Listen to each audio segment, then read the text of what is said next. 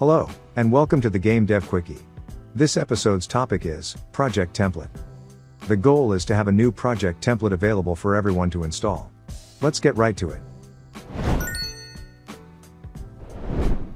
We begin by making a source folder. Inside that folder, create a content folder.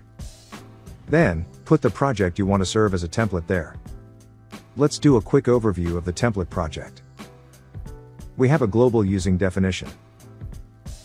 The global static class we usually use. The game class. We set up the game manager there. Assign all the global properties. And call all the necessary update and draw methods. We have a base sprite class. And a character class as an example. The input manager handles both the keyboard and mouse. The game manager includes a small demonstration. Let's take a look. We control the character with a keyboard. Okay, let's make a template out of this. First, we create a new solution file inside the source folder. You can find all the commands in the description as well. Next, we add our project to the solution. To configure the template, we need to create a specific folder. Notice the folder name starts with a dot. Inside this folder, we create a new template.json file. We fill out a few needed values. The schema of the file. The author. For the classifications, we will use games. The identity must be unique. The name will be visible in the list of templates. We use the short name to select the template. We will also include tags to show the essential information. And lastly, the source name. When we create a new project from this template, it replaces all the matching texts. We will see an example later on. We can list all the available templates with this command. To install a new template from our folder, we use this command. We get a short confirmation. Our template is on the list now. Perfect. But we will uninstall it for now. We want to try a few more things. Let's make a NuGet package.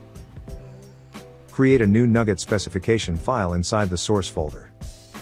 It uses the XML format. We fill out the needed data again. The identification of the template. The version number. A short description. The author.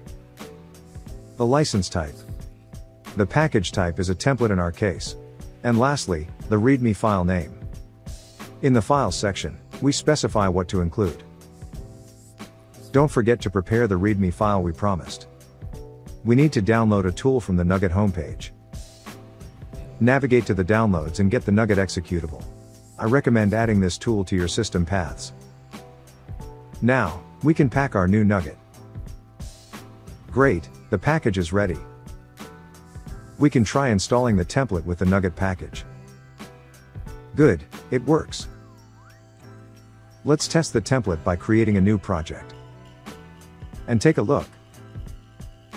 As we can see, the template correctly replaced the name. Okay, there is one more thing we can do. We can upload the template to nuget.org. I am already signed in. Go to the upload page and select the package. It shows a brief overview. Continue by pressing the submit button. It takes a few minutes to validate. And it's all done. Anyone can install this template now. Let's try one last time. I hope you have enjoyed this episode and learned something new. You'll find the code in the description below. Leave a like and subscribe to get all the new content. Is there a topic you'd love to see next? Let me know in the comments. Thanks for watching, and see you next time.